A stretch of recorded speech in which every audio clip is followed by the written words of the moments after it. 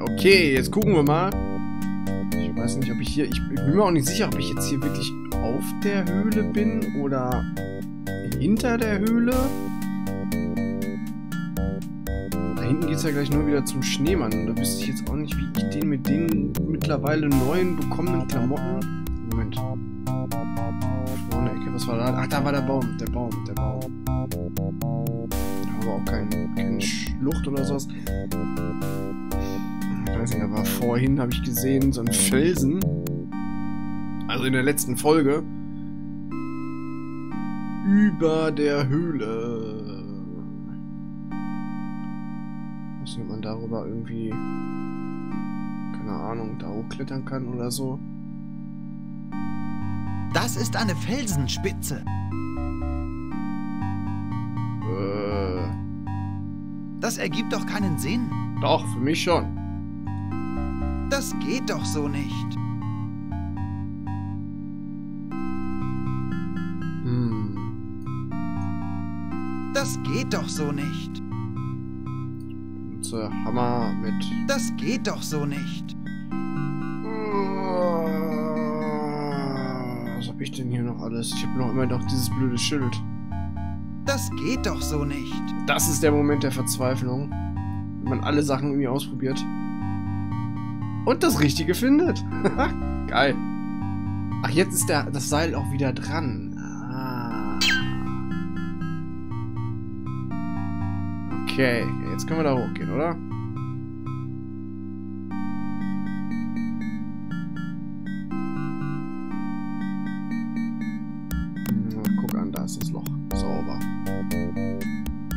Dann versuchen wir es doch mal. Ich weiß zwar nur gar nicht gerade, äh, äh, warum ich das noch brauche, weil eigentlich habe ich ja alles. Das ist verrückt. Jeder weiß, dass Gold nicht magnetisch ist. Ah, nee, Moment. Warte, warte, warte.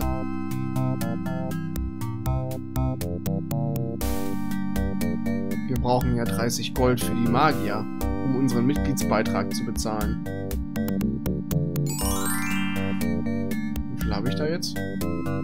25 Goldstücke. Das reicht noch nicht.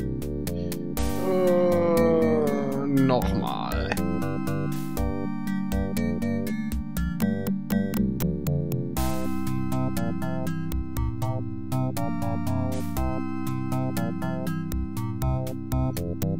Ja, ja, beim Angeln braucht man Geduld.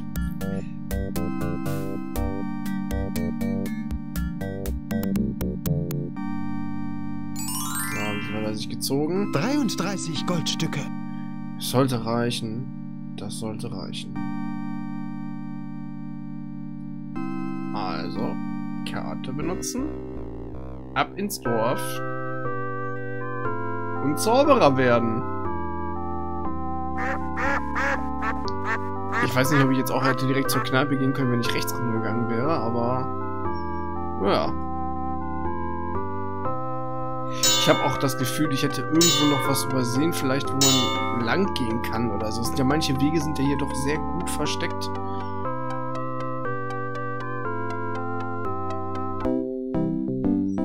So.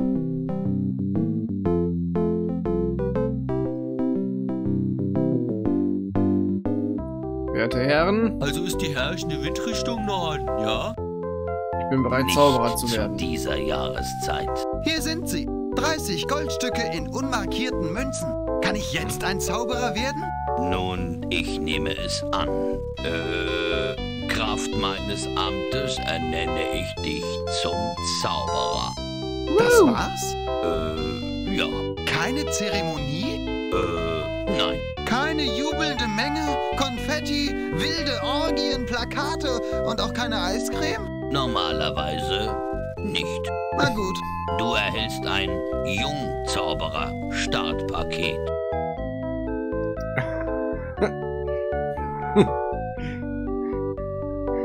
Wie bei der Eröffnung eines Bankkontos? Ja, es enthält auch viele schöne Süßigkeiten. Du bekommst einen Stab.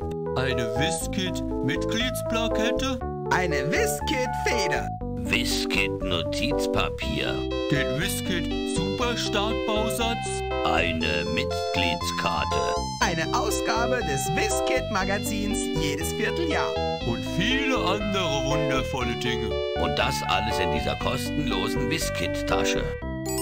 Vielen Dank. Ich denke, Bist du jetzt glücklich? beantwortet mir nur ein paar Fragen.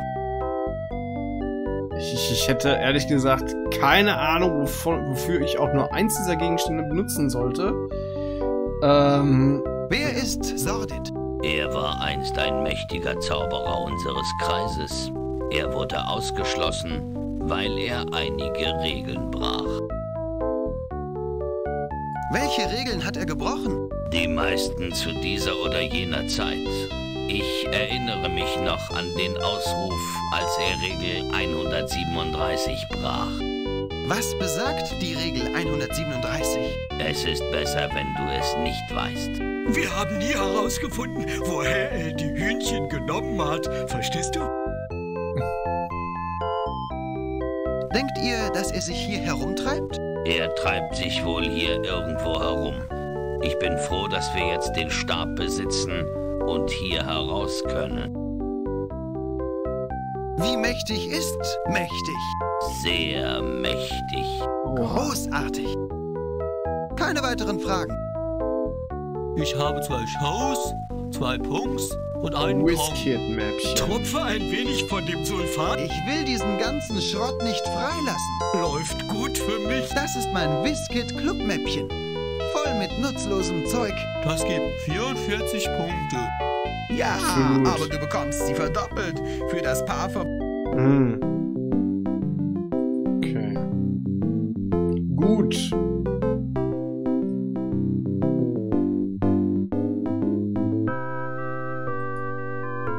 Tja, nun, ähm,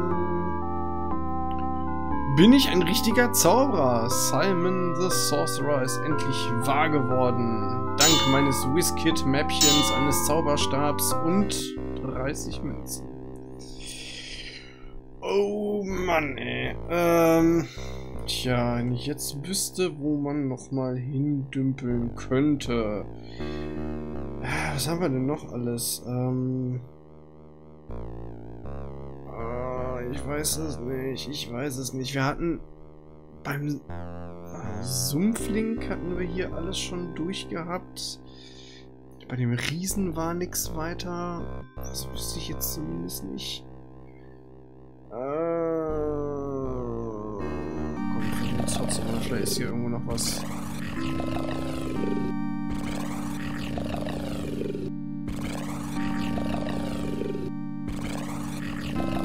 Ja, nicht. Er schläft tief und fest.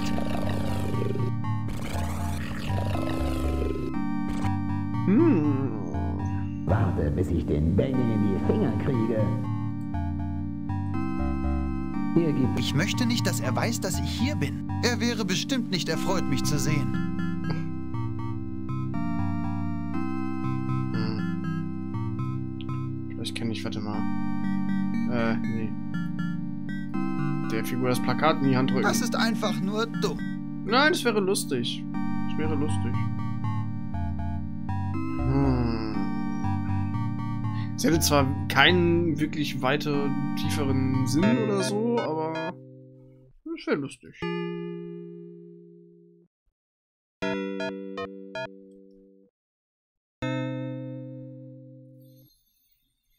Hm, komm, wir wagen es nochmal.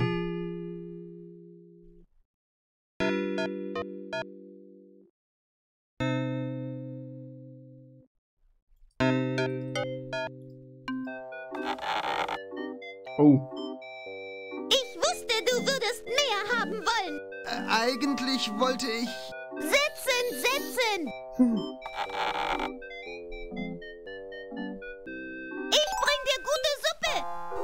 Sehr gute Suppe. Ja, das ist jetzt der Punkt wahrscheinlich, wo viele Oh abschalten. nein, Aber. äh, ja, komm, hier, gönn dir. nicht schon wieder.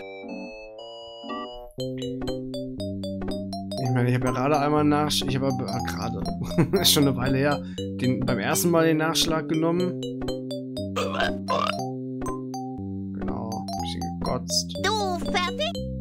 Ja, super. Oh nein, ich habe keine Suppe mehr. Na, sowas. Tut mir so leid. Ich muss nur noch mehr Zutaten sammeln. Hau ab.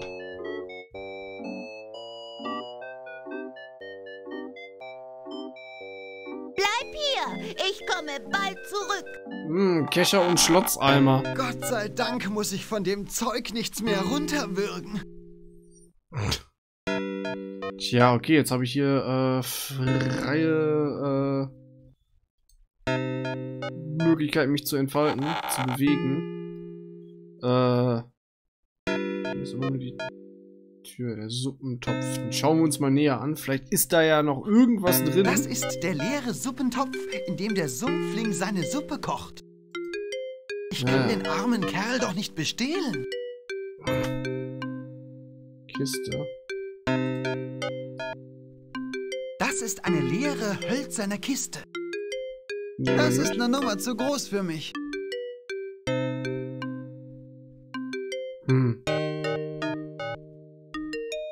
Dann trage ich die halt weg. Mein guter Geschmack sagt mir was ganz anderes. Entfernen? Das trage ich nicht.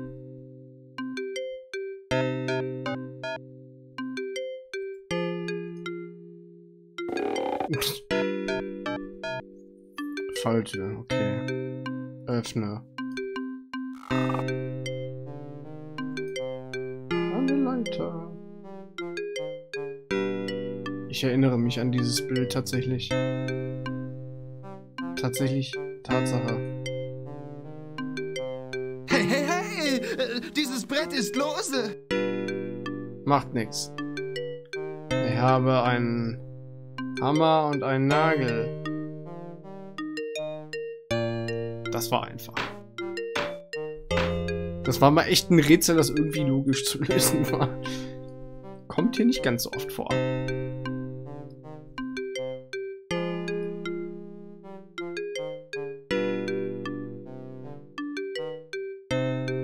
Das sieht ja nett aus. Die Schädelinsel.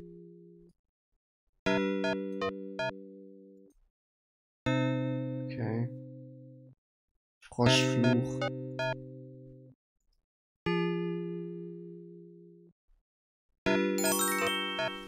Das sind spezielle Kräuter mit seltsamen Eigenschaften. Okay. Der einzige, der hier bisher mit Kräutern irgendwie was zu tun hätte, wäre der Druide, der nicht zu Hause ist. Ah, warte mal. Vielleicht ist das ja jetzt. Vielleicht ist das ja jetzt. Wenn man in den Besitz dieses äh, wunderbaren Froschfluchs kommt.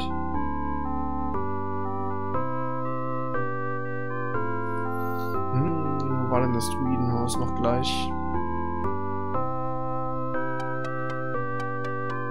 Hier ging es, glaube ich, nur zu Kalypsos Haus. Ausschließlich, ja.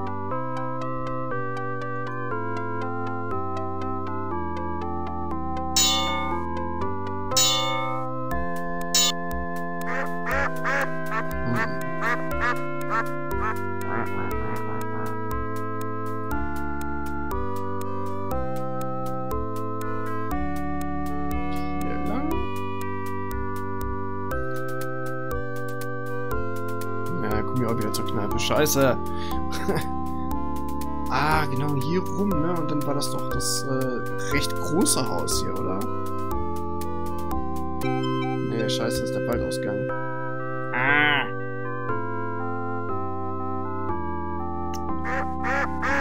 Äh, dann gehen wir da rum.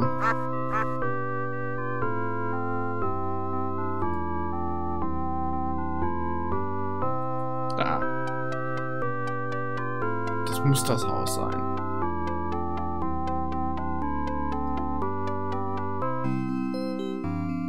Tja, gut. Das ist das Haus, aber hier ist immer noch keiner. Nur diese diese verdächtigen Kräuter.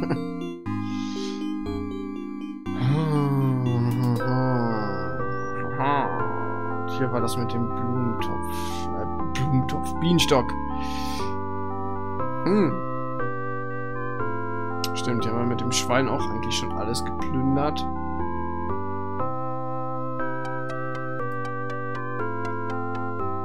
Stimmt, ich hätte eigentlich versuchen können, den Das Frosch, geht doch so nicht. Froschfluch bei dem Sumpfling in den Topf zu werfen und meine eigene Suppe zu kochen. Aber bin ich mir auch nicht so sicher, ob das so richtig ist. Äh, gucken wir mal, was haben wir denn da noch? Genau, das Hexenhäuschen. Da war ja auch schon lange nicht mehr. Boah. Ich habe ein schlechtes Gefühl. War die Tür beim letzten Mal nicht noch zu? Ah. Ja, dann würde ich sagen, schauen wir doch mal in der nächsten Folge, was uns hier im Hexenhaus so erwartet. Auf jeden Fall ein böse guckender Kürbis, eine Katze vor dem Kamin, wieder mal ein Topf auf dem Feuer, ein Besen, eine Truhe und noch ganz, ganz viel anderes Zeugs. Also schaltet beim nächsten Mal wieder ein, wenn es weitergeht. Ich sag Dankeschön und bis zum nächsten Mal. Ciao, ciao.